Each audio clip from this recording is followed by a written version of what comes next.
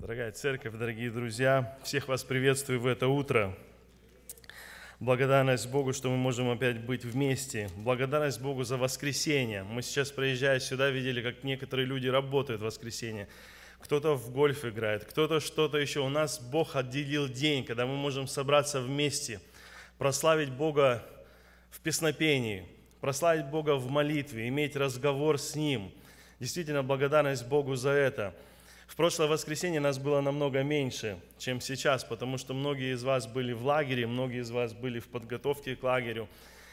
И нам Бог даровал прекрасное служение, и слово, которое мы слышали, и праздник, который мы вспоминали, праздник преображения, когда Иисус Христос зашел с тремя учениками на гору и преобразился там – и он видел там Моисея, Илью, и они говорили об исходе, что должно случиться, и как ни странно, в этот момент некоторые ученики спали и говорили о том, что если мы христиане, и мы верим в Господа Бога, наша жизнь должна преображаться.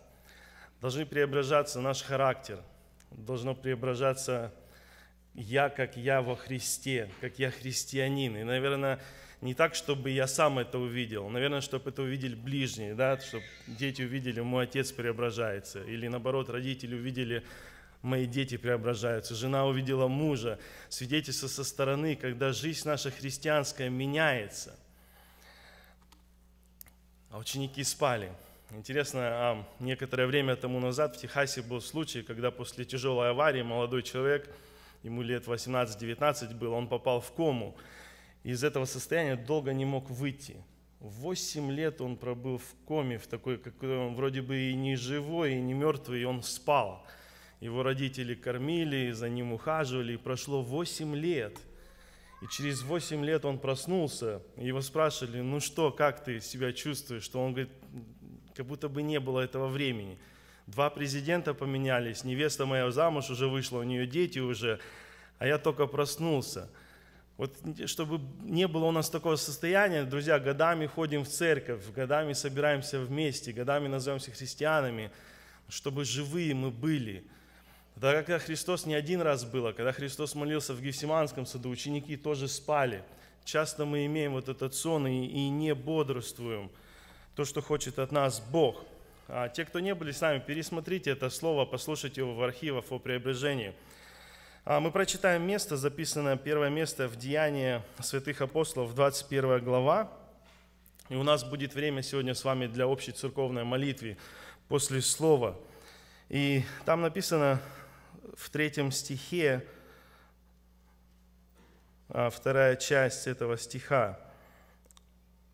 Первый. «Быв, быв в виду Кипра, и оставив его слева, мы плыли в Сирию, пристав в Тире, ибо тут надлежало сложить груз с корабля, когда Павел были в путешествии своем. И найдя учеников в том городе, пробыли там семь дней. Они по внушению Духа говорили Павлу, чтобы он не ходил в Иерусалим.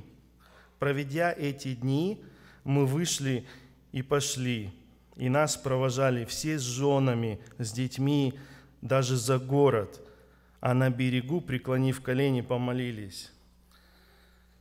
Знаете, каждый раз, когда читал это место, я представлял эту картину, когда вся толпа вышла и дорогого человека провожали за город. Мамы, папы, дяди, тети, дороги они им были. Дорог был Павел.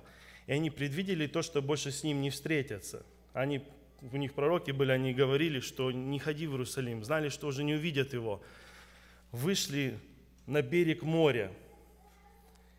Представьте вот эту картину. У нас один раз был такой случай, вот Роман Соли будет помнить, мы когда возвращались с Камчатки из село Анавгай по пути назад в Петропавловск, у нас хорошие отношения с ним были, их дети были в лагере, и они настолько при, как полюбились нам. И мы возвращались назад, уже поздно было, они вышли, перекрыли дорогу, сделали костер все, мамы, папы, дети – вышли повстречаться и помолиться вместе. Так же и здесь. Преклонив колени прямо там, вот вышли на берег моря, упали в песок и помолились. Друзья, если не болят ваши колени сегодня, если вы можете еще их преклонять, преклоняйте перед Богом колени.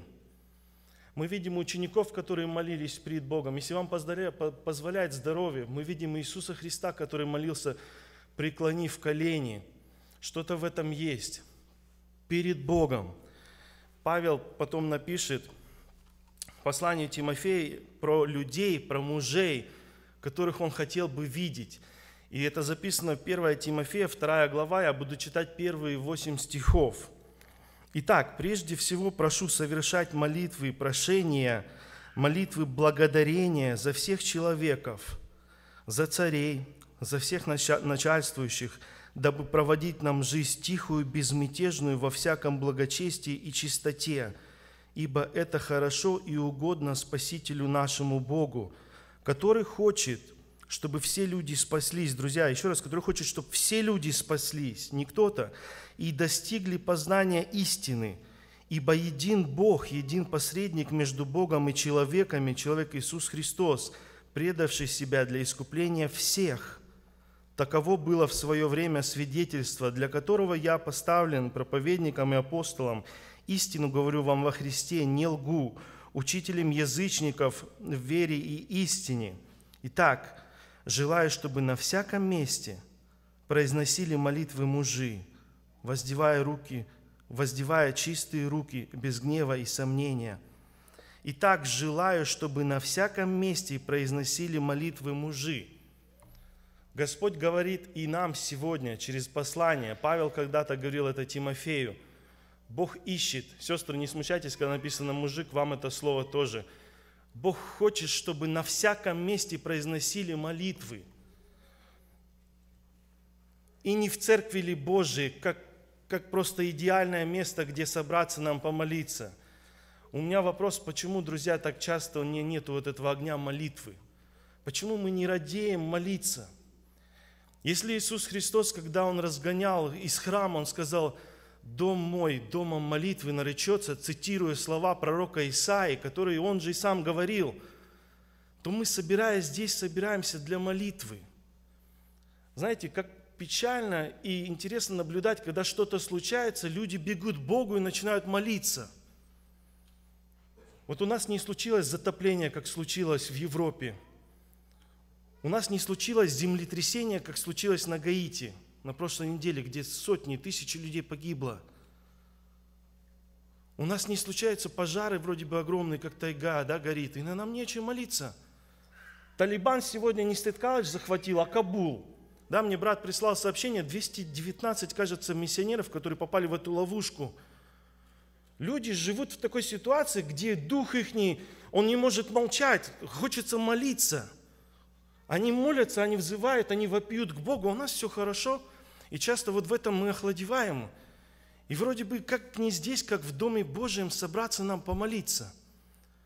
Если мы будем читать Евангелие от Луки, 11 глава, когда ученики вернулись назад, уже Христос посылал их по двое в село, чтобы они проповедовали, они исцеляли, они делали большие дела. И написано, они пришли назад и видели Христа молящимся. 11 глава с 1 стиха. И и они, они подождали, ученик подождал, пока Христос помолился, и потом говорит, Господи, научи нас молиться. Не как нам больше чудеса делать, не как нам больше насаждать миссионеров, еще чего-то. Боже, научи нас молиться. Мы хотим молиться. Они видели силу, они видели примеры Иисуса Христа, который молился. Бога человек, Сын Божий. Господи, Ты можешь все сделать здесь на земле. Ему нужна была сила в молитве, и они говорили, Боже, научи нас молиться. Апостол Павел говорит Тимофею, я желаю, чтобы на всяком месте мужи, жены, чтобы произносили молитвы. Друзья, ваша молитва вслух, мы не задумаемся об этом, она окрыляет кого-то. Какое-то время тому назад, может быть, несколько лет, когда еще собирались мы на разбор в разных группах, если вы помните, старики были, старички в малом зале, те, кто повзрослее, с Григорием молодежь собиралась здесь, и в один вторник получилось, что вместе мы были. Те, кто помоложе и кто постарше. И когда мы стояли на молитве, и замолилась сестра одна, старица, у меня мурашки по коже пошли от ее молитвы. И ты стоишь и говоришь, Господи, аминь, аминь. Ты хочешь сказать аминь, ты хочешь соединиться с ее молитвой. Друзья, ваша молитва, она окрыляет часто. Ваша молитва – это не результат на проповедь. Если мне понравилось, что сказал проповедник или нет, я помолюсь. Разговор с Богом. Проверьте сами себя, приходя в Дом Божий, дом, который называется молитва. Не прошло ли служение просто так?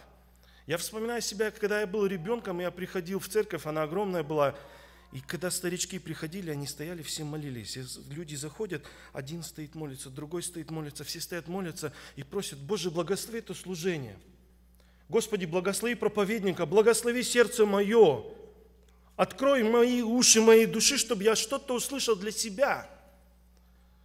Придя сюда, прошлое воскресенье, позапрошлое, проверьте себя, вы помолились хоть один раз в доме молитвы.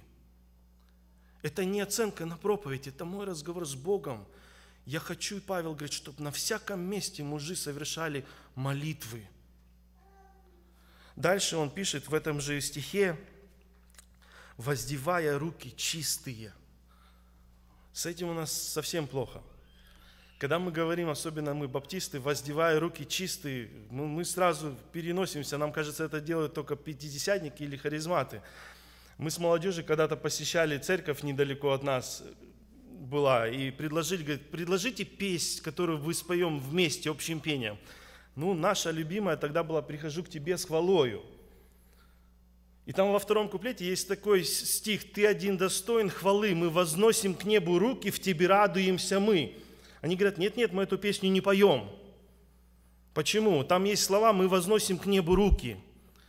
Друзья, в протяжении всего Ветхого Завета и Слова Божия мужи Божии воздевали руки к небу, взывали в молитвах с поднятыми руками к небу, прославляли Бога. Что-то есть в этом особое, когда ты тянешь руки к Отцу.